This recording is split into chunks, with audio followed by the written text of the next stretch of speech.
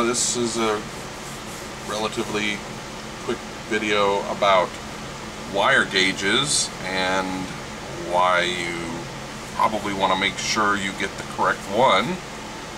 Um, I I a while back since I was in my I one of my hobbies or obsessions was fixing old radios. And sometimes when you're working on stuff you want to you need to wire some, something. And whatever it is you're doing needs a specific size wire or you may have to make sure it can handle the amperage and whatever. And I needed a wire gauge so I ordered one off of eBay and got it um, it came from India and it wasn't very well made but that wasn't the main problem with it. It uh, what, what what I found was that I kept well first off why did I need a wire gauge? Um, wires are most people know that wire is marked. Well yeah most wire is marked but in a lot of cases it's not marked very clearly and legibly uh, the machines that mark them oftentimes smear. Sometimes the, the, the printing is so incredibly small, it's pretty much not readable. Um, or you have wire that has no insulation on it and you need to know how, how big it is. Either way, you know, you want to know what size the wire is. So I, I got this wire gauge and I was starting to measure things with it and marking stuff and I was noting discrepancies that at first I attributed to the poorly, the poor quality of the gauge that I purchased. It, it was made in India and I don't know if you, you can, we'll look at this one real close you can see that, unfortunately I threw it away before I made this video.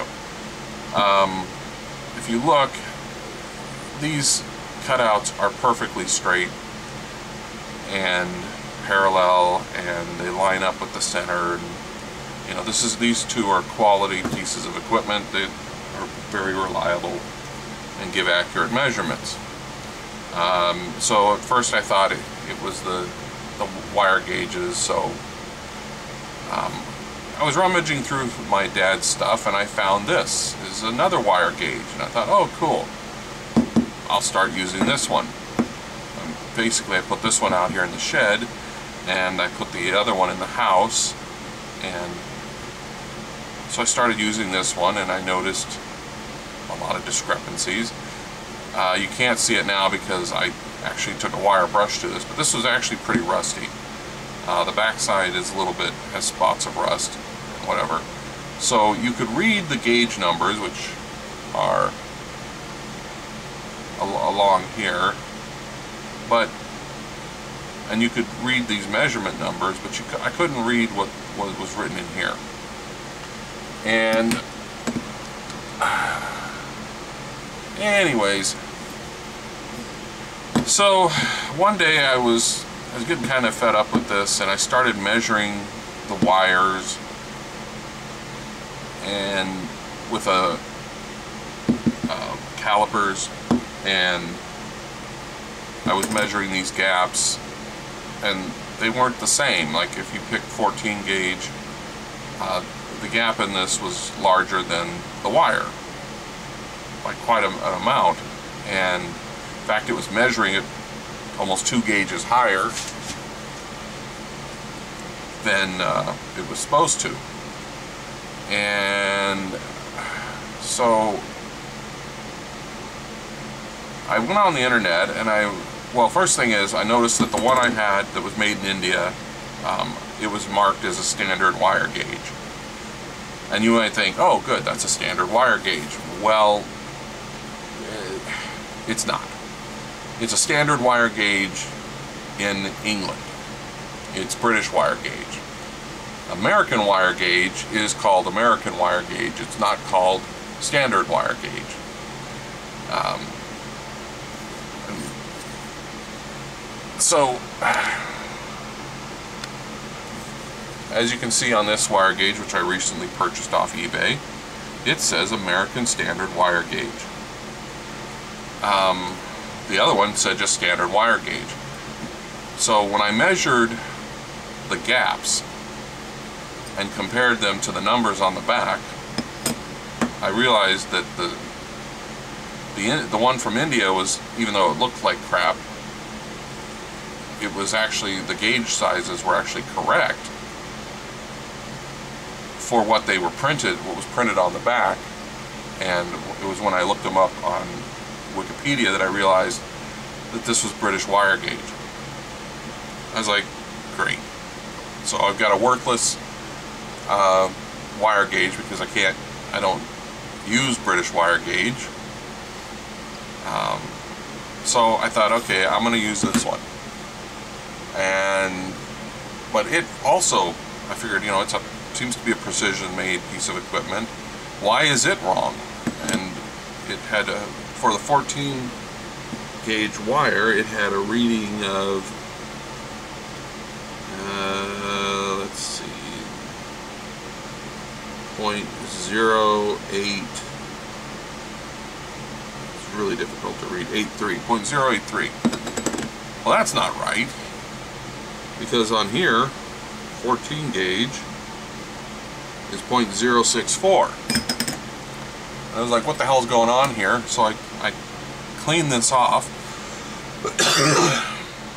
and if you can see it on there, it says Birmingham wire gauge.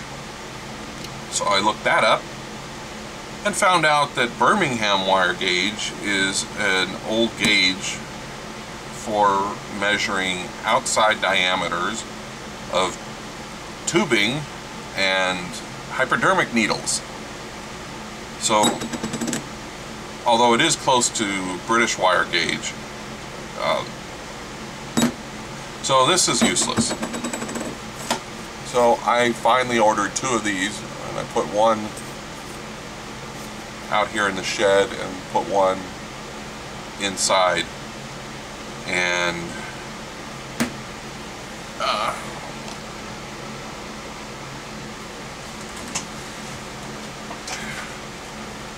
So, if you don't know how to use one of these, all we have here is some wire. I think this might be 12 gauge, but it also might be 14. And so what you do is you find, this is 14, and it won't fit through there, won't fit through 13. It doesn't even fit through 12.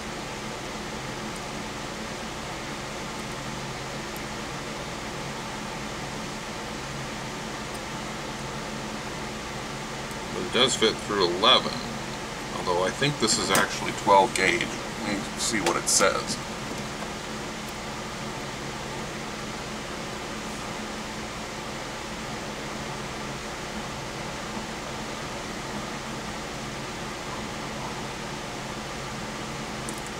Yep, it's marked as 12 gauge, but I'm going to I'm going to verify it.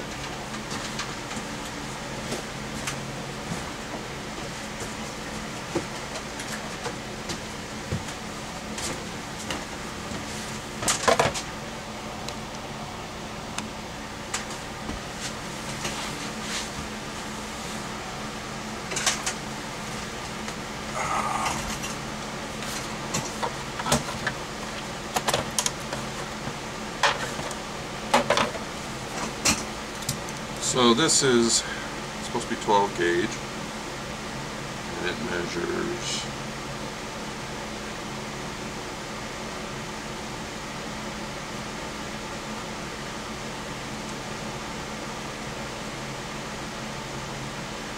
uh, zero seven nine. And according to this 12 gauge is 0.081. So this should be fitting in here. Um, this may have been squished at one at some time. Let me get a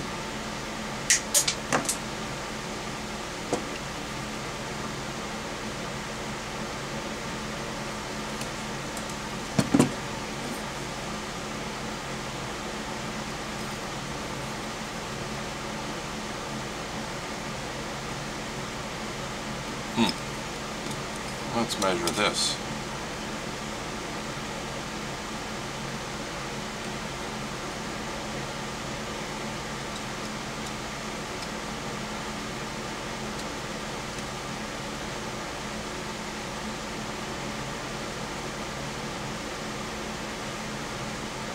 This measures 0.081. Interesting, because this wire doesn't fit in there.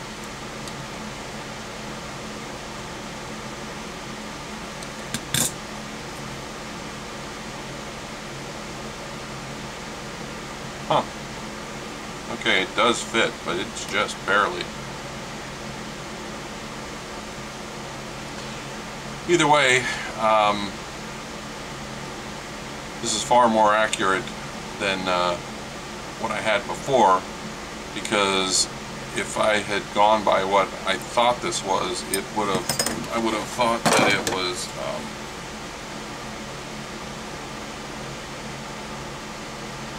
I would have thought it was 14 gauge because it fits in 14 just perfectly. And now, if I'm in America and I use wire that's the wrong size and I relied on a gauge like this, I would be going up in size, which would not be bad.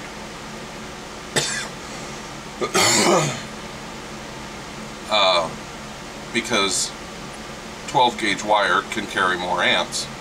So, you know, that's great. I mean, it would be unnecessary, but uh, but the other way around is that if I was in England and I was using an American Standard one, I'd be using a smaller gauge wire because uh, British wire gauge is almost twice, each size is almost twice the American size.